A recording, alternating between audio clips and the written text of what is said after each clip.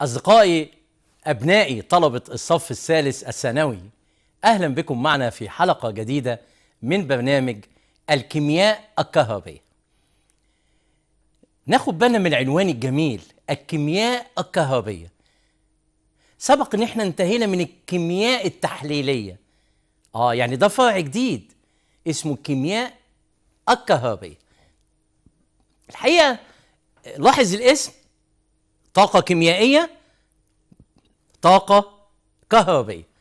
وهو ده السر في الباب. كيف يمكن تحويل كل طاقة منهم إلى الأخرى؟ طيب هل هل هو مهم في حياتنا؟ هنشوف مع بعض.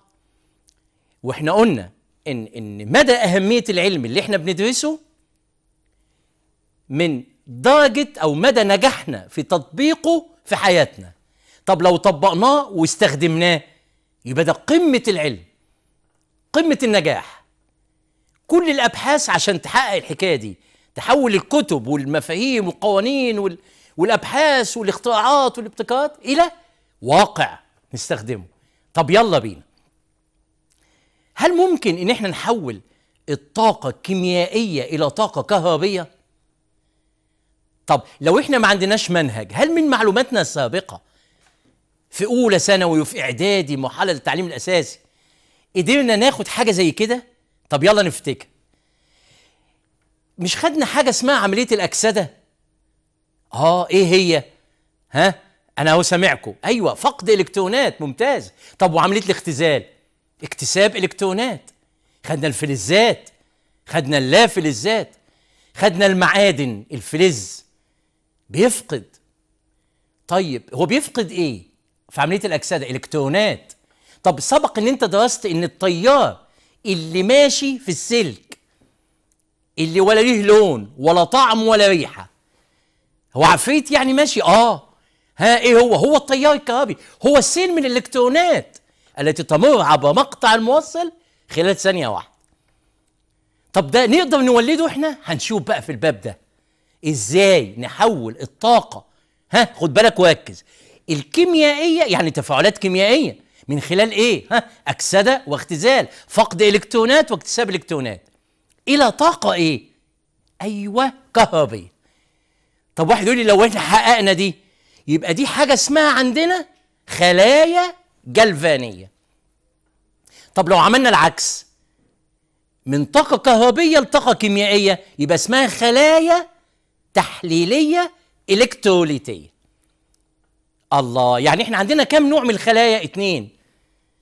واحدة جلفانية هنعرف ليه سميناها كده. واحدة تحليلية إلكتروليتية هنعرف ليه سميناها كده. طيب يلا نبدأ القصة من الأول. أول القصة هي الخلايا أو الخلية الجلفانية. على فكرة هي سميت كده بالنسبة لجلفاني. جلفاني ده كان بيشرح ضفدعة. وأثناء التشريح اهتزت أطرافها فقال إن الضفدعة بتولد كهرباء. وجي بعد كده فولتا وهوب هوب هوب ها قدرنا نعرف في النهاية من معلوماتكم السابقة ها إن في حاجة اسمها خلية جلفانية وسميت باسم جلفاني. طب إيه فكرتها؟ آه شايفين قدامنا؟ طيب هل اللي قدامنا ده خلية جلفانية؟ نعم. معلش إحنا جبنا الايه مثال لخلية جلفانية. طيب شايفين اللي قدامنا ده إيه؟ ده عبارة عن كاسين جواهم مواد كيميائية وأسلاك وتوصيلات. طيب وسميت خلية جلفانية. طب إحنا عايزين نعرف بقى الموضوع من الأول. فعايزين نفهم إيه معنى تاني خلية.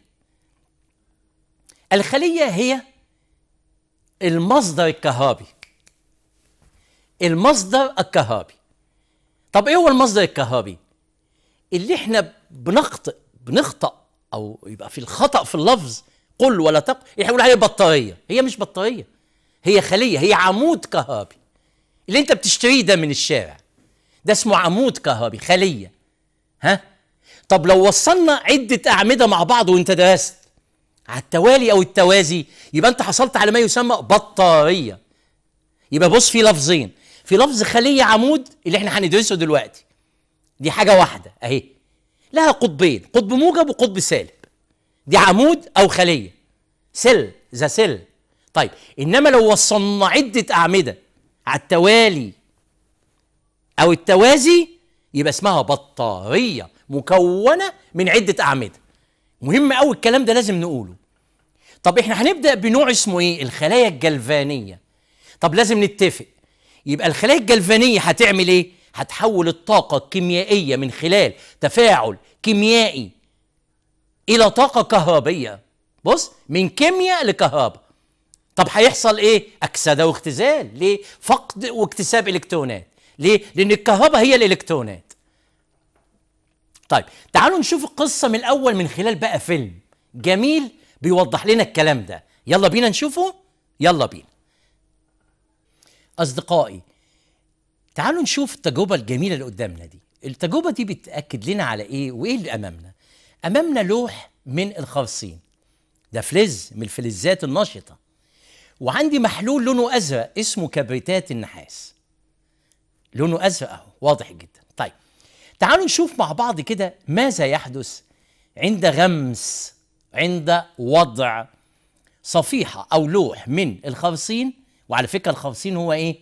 أيوه الزنك. في محلول كبريتات النحاس. تعالوا نشوف مع بعض. بص كده. أول ما أحط لوح الخرصين جوه كبريتات النحاس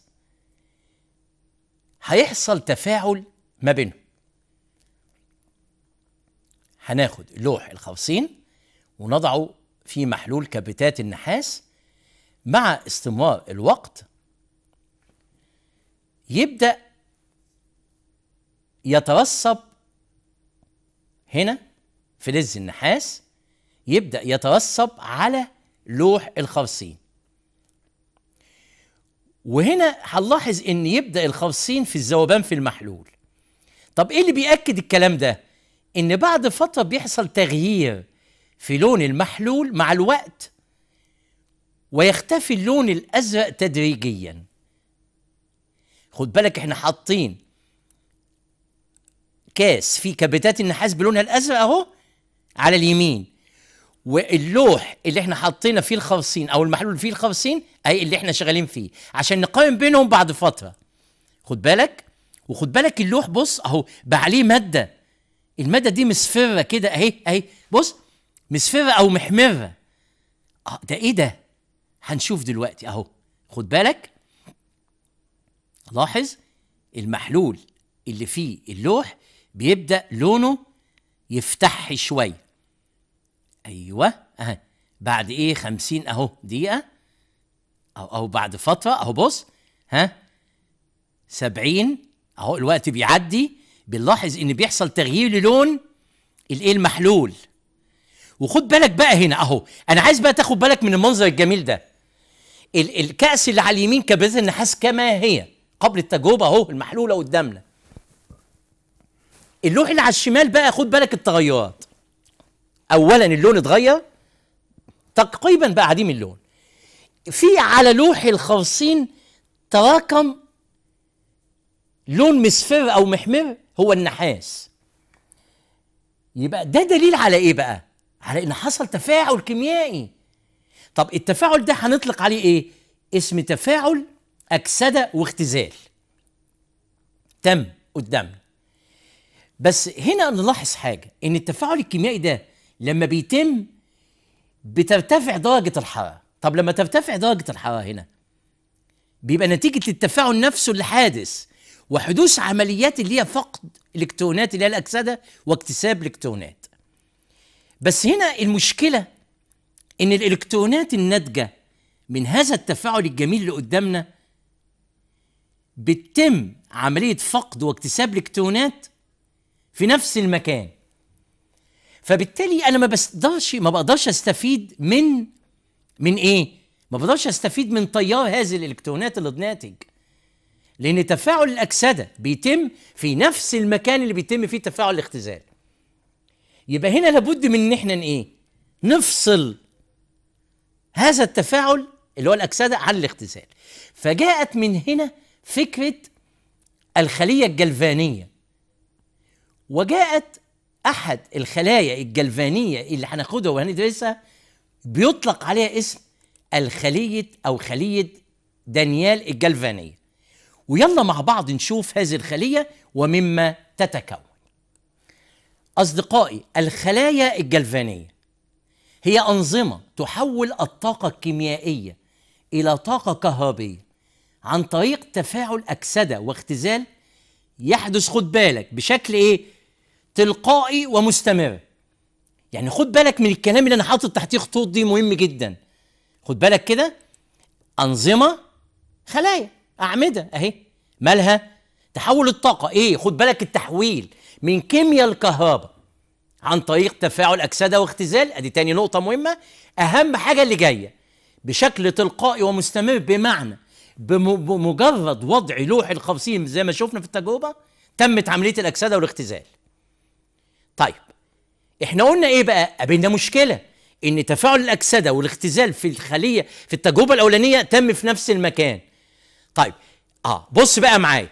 هنا أنا عايز كل تفاعل يبقى في حدة يبقى في مكان لوحده. فبدأ دانيال أحد العلماء المشهورين جدا عندنا في الكيمياء الكهربيه وضع خليته. فأصبحت خلية دانيال اللي قدامنا دي هي مثال لخلية جلفانية ليه بقى جلفانيه لأن التحويل هو هو. من كيمياء لكهرباء بطريقة تلقائية. طب يلا شوف الفكرة بقى. إحنا فصلنا الأول إيه؟ ها؟ كل تفاعل في قسم. خدنا الخارصين في محلوله الإلكتروليتي. ناخد بالنا من الكلام اللي أنا بقوله. يعني الخارصين أهو اللي هو الزنك في كبريتات الإيه؟ الخارصين والزنك. وده ال- وده الجزء اللي هيتم فيه عملية الأكسدة. طب وناخد النصف الثاني أهو كل لوح في محلوله الالكتروليتي النحاس في محلوله الالكتروليتي كبريتات النحاس. أهو فصلنا الاثنين عن بعض كويس جدا. وبدأ بمجرد إن إحنا وضعنا الاثنين هتتم عملية أكسدة واختزال في كل قسم من الاثنين طيب بوضع الاثنين دول أهو أدي الخمسين هيفقد الإلكترونات تروح الناحية التانية. آه يبقى فصلنا أهو. فكان لابد من إن وجود بقى اتصال ما بين الاثنين ففكرنا في الأنبوبة اللي قدامك دي. دي اسمها قنطرة ملحية. دي اللي هي بتعمل على الاتصال بين النصفين بطريقة غير مباشرة. الكلام ده هنقوله كله بالتفصيل بعد كده. لكن إحنا بس بنديك فكرة الأول إيه اللي تم. كويس جدا. طيب.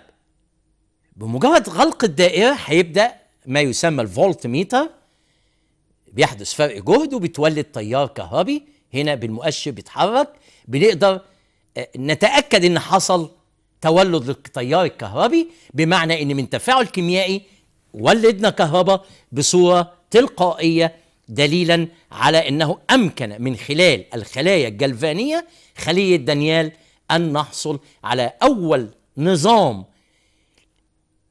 من تحويل طاقة كيميائية إلى طاقة كهربية بصورة تلقائية. يا الله جميل جدا. طيب تعالوا نشوف بقى مع بعض. الكلام ده يتم إزاي؟ ونشوف كده مع بعض. آدي قدامنا التفاعلات اللي بتتم. في كل نصف. آدي الخرسين زي ما انت شايف وركز معايا. اللي هو النصف اللي بتتم عنده عملية الأكسدة. أهو حصل له إيه في المعادلة؟ ها؟ فقد إلكترونات فتحول إلى أيونات خرسين واداني 2 إلكترون. ده بنسميه الأنود. ده القطب الإيه؟ القطب السالب. قدامك أهو مكتوب قطب سالب أنود. آه يبقى ده جهد الأكسدة هنا أهو قدامك. 76 من 100 فولت. طيب لاحظ حاجة. إن الناحية التانية اسمه إيه؟ كاثود قطب الموجب. اللي هو فيه النحاس. وفيه كبريتات النحاس. فاذا الخرسين هنا أهو بيحصل الاكسده يفقد إلكترونات وتكتسبها النحاس. وتبدأ الدايرة ويبدأ الإيه؟ التيار يتحرك. وادي جهد الاختزال عندي هنا أهو بتاع النحاس موجود. اذا لاحظ التفاعل اللي قدامنا كيف يتم. طيب هنا لو حاولنا بقدر الإمكان إن إحنا آه، نوضح أكتر ماذا حدث. يلا نشوف كده مع بعض. أهو. ماذا حدث؟ على مهلنا. أيوه مهم جدا الكلام ده. إن بعد ما أيوه أهو. خد بالك إيه اللي بيحصل. إن هنا عندي الأنود اللي هو الإيه؟ لوح الخمسين بيحصل بيفقد إلكتروناته. أهي. فبيتحول إلى زد إن موجب 2 أهو. بيفقد إلكتروناته. بيتحول إلى أيونات موجبة. والإلكترونات بتنتقل عبر السلك. أهي إحنا طالعين فوق أهو. أهو تيار إلكترونات أهو طالع. أيوه أهو ماشيين من خلال الفولت ميتر اللي موجود عندي في الدايرة. ويوصل للنصف الآخر هتتم عملية الاختزال. يا الله أدي الإلكترونات أهي اللي جت وصلت. هتكتسبها أيونات مين؟ النحاس. أيوه أهو النحاس أهو أيونات أهي. تكتسبها أهي تحت أهي. شايفين؟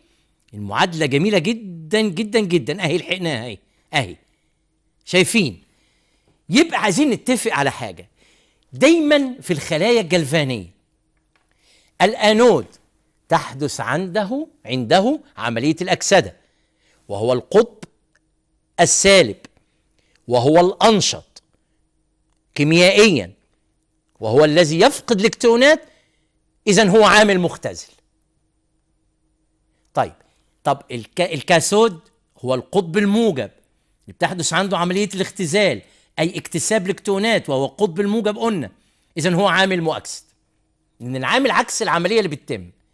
وتتم هذه العملية زي ما قلنا بصورة تلقائية. تمام؟ مباشرة. أصدقائي زي ما إحنا شايفين قدامنا رسم بسيط خالص لخلية دانيال اللي هي مثال للخلايا الجلفانية اللي إحنا شفناها.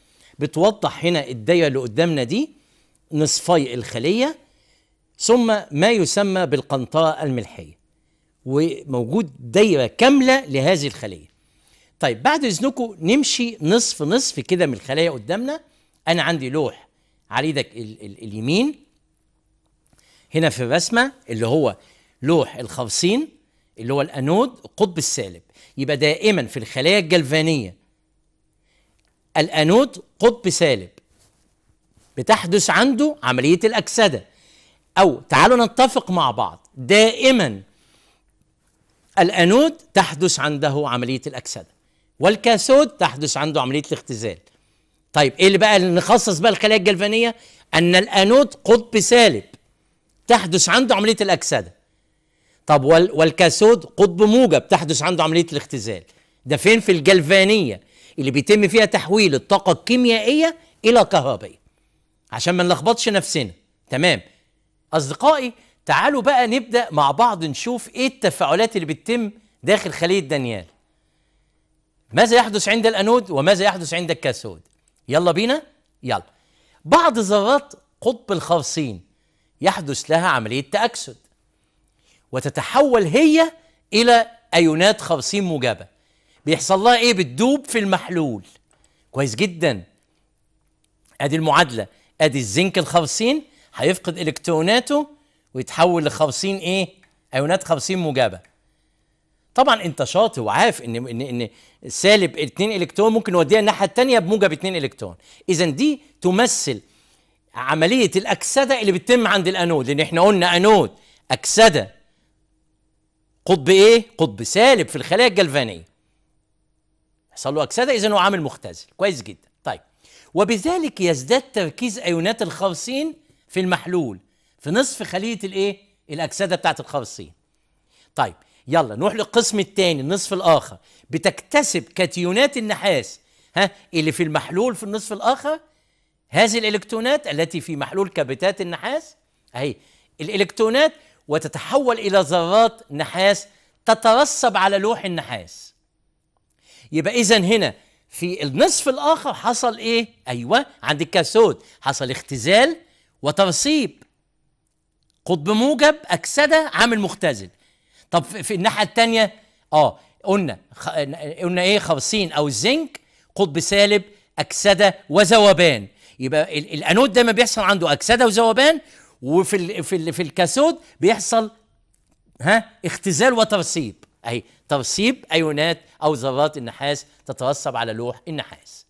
أدي النحاس اكتسب 2 إلكترون يحصل عملية اختزال ويترسب. يبقى اختزال وترسيب أكسدة وذوبان. عشان كده مع الوقت لوح الخرسين بيبدأ يتآكل. خدنا بالنا بقى من الفكرة؟ برافو عليكم. يلا. وبذلك بيزداد تركيز ايونات الكبريتات في نصف خلية النحاس. تنتقل الإلكترونات من القطب الخرسين خلال بقى سلك التوصيل. يبقى إحنا نجحنا اهو في نقل الإلكترونات إلى لوح أو قطب النحاس في صوره تيار كهربي. مين اللي وضحه؟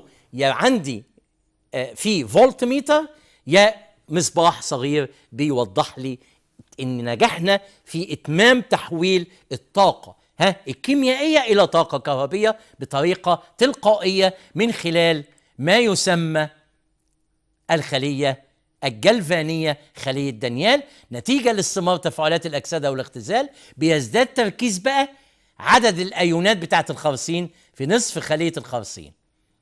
وبالتالي بتزداد عدد أيونات الكبريتات في نصف خلية الإيه؟ النحاس مما يضعف تدريجيا من التيار الناتج. فيأتي دور بقى هنا القنطرة الملحية إنها بتمنع أهو تكوين فرق جهد بين محلولي نصفي الخلية.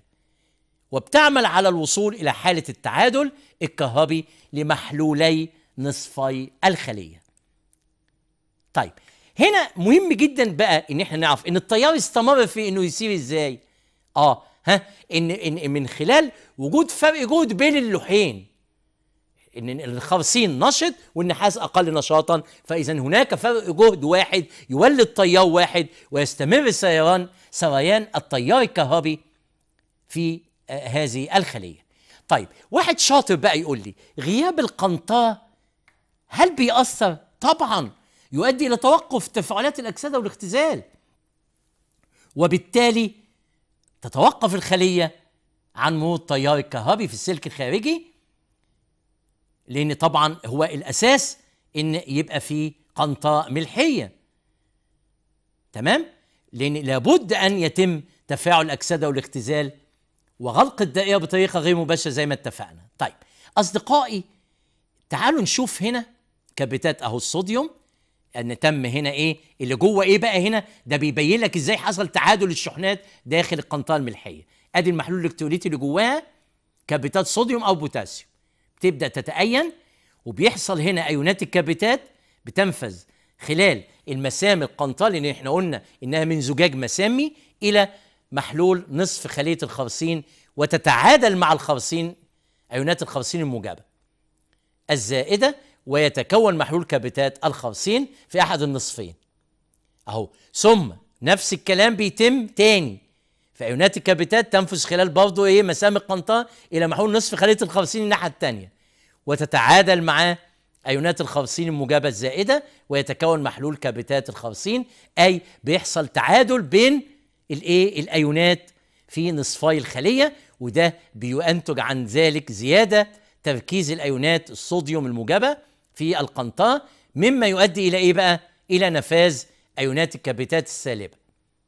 من نصف خلية النحاس إلى القنطرة وتتعادل مع الصوديوم وهو ده أساس القنطرة الملحية إن بيحصل التعادل بين أيوناتها وده هنا بيتم بصورة مستمرة. طيب تعالوا أصدقائي بقى ننتقل إلى وصف للخلية. فوصف الخلية ده بيتم من خلال إيه؟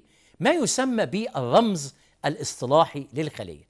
اتفق أو اتفق العلماء مع بعضهم البعض في أن هناك رمز للخلية. بيوضح الأنود الكاثود كل قطب بمحلول الكتروليتي القنطره الملحيه ماذا يحدث لكل نصف الخلية الأنود ماذا يحدث عنده الكاثود ماذا يحدث عنده فيما يسمى باسم الرمز الاصطلاحي. تعالوا نشوف مع بعض تمثيل الخلية بما يسمى الرمز الاصطلاحي وده مهم جدا لأنه بيوضح تركيب الأقطاب وعمليات الأكسدة والاختزال الحادثة في الخلية. طيب نشوف مع بعض كده هنا.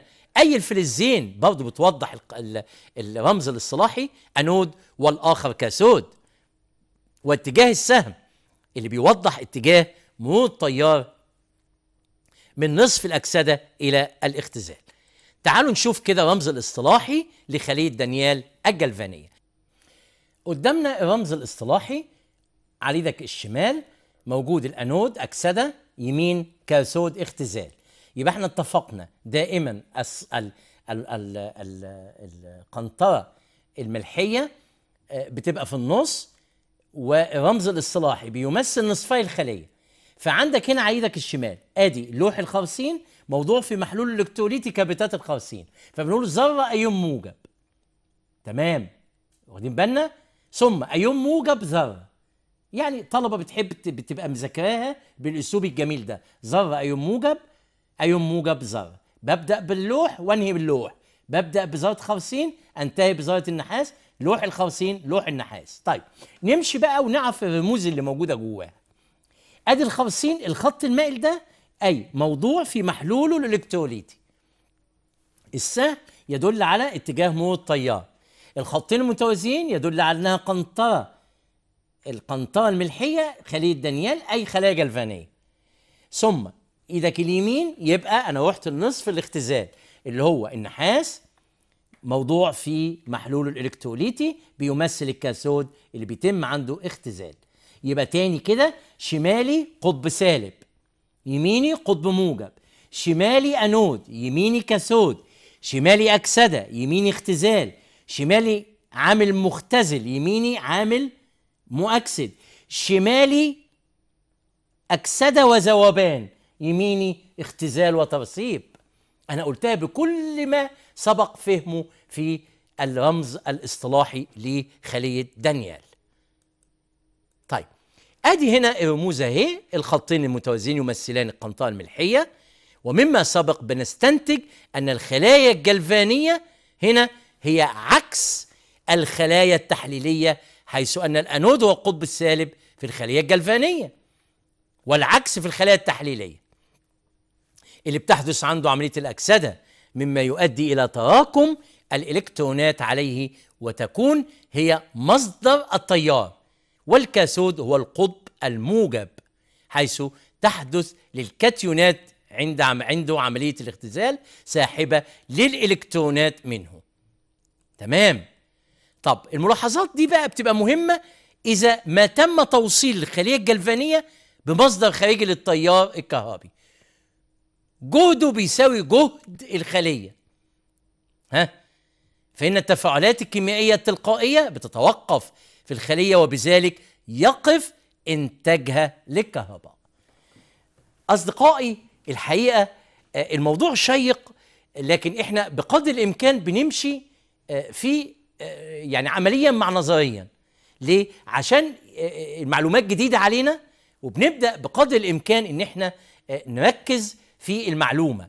فالنهاردة الحمد لله قدرنا نفهم أول نوع من الخلايا الجلفانية في الكيمياء الكهربية وهي مسؤولة أو هي أنظمة بيتم فيها تحويل الطاقة الكيميائية إلى طاقة كهربية من خلال تفاعل أكسدة واختزال بيتم بصورة تلقائية ويتم من خلال تفاعلات الايه ال- الأكسدة والاختزال فقد واكتساب الإلكترونات وكان المثال بتاعنا هي الخلية آه، دانيال. وإن شاء الله آه، في الحلقات القادمة هنبدأ نكمل مع بعض كيف يمكن قياس جهود الأقطاب. إن شاء الله. واسره البرنامج بتتمنى لكم دائما النجاح والتفوق بإذن الله.